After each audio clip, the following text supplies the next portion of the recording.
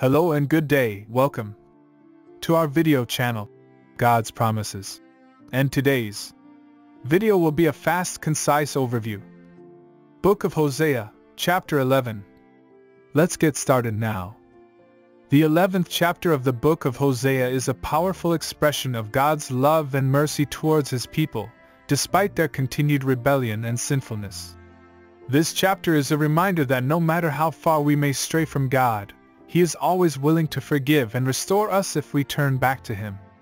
The chapter begins with God recalling how He had lovingly called His people out of Egypt, and how He had taught them to walk by His side. However, as they grew in prosperity and wealth, they began to turn away from God and worship other gods. This led to their downfall and eventual exile from their land. Despite their rebellion, God expresses his deep love for his people, saying, How can I give you up, Ephraim? How can I hand you over, Israel? My heart is changed within me. All my compassion is aroused. Hosea 11 verse 8. In this chapter, we see that God's love for us is not based on our performance or behavior. Rather, it is a deep, unconditional love that is rooted in His very nature. No matter how much we may have strayed from God, He is always willing to forgive us and welcome us back into His loving embrace. The lesson for us today is that no matter how far we may have strayed from God, it is never too late to turn back to Him. We can trust in His mercy and love to guide us back onto the right path, no matter how lost we may feel. As it says in Hosea 11 verse 10, They will follow the Lord. He will roar like a lion. When he roars, his children will come trembling from the west. In addition to this, the chapter also highlights the consequences of disobedience and rebellion against God. The people of Israel had turned to idols and false gods, which led to their downfall and exile. This serves as a warning to us today that turning away from God and seeking after other things will only lead to destruction and ruin.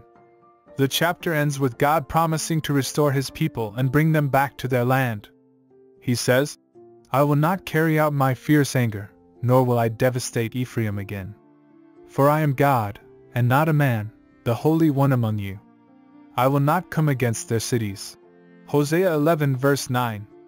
This promise of restoration and reconciliation is a testament to God's love and mercy towards his people.